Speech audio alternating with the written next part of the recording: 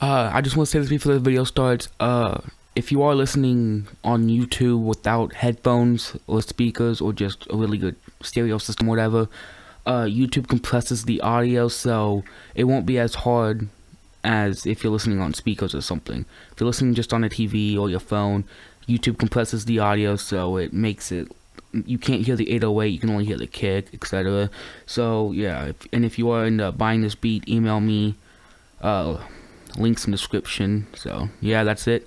And yeah just wanted to say that before the video starts enjoy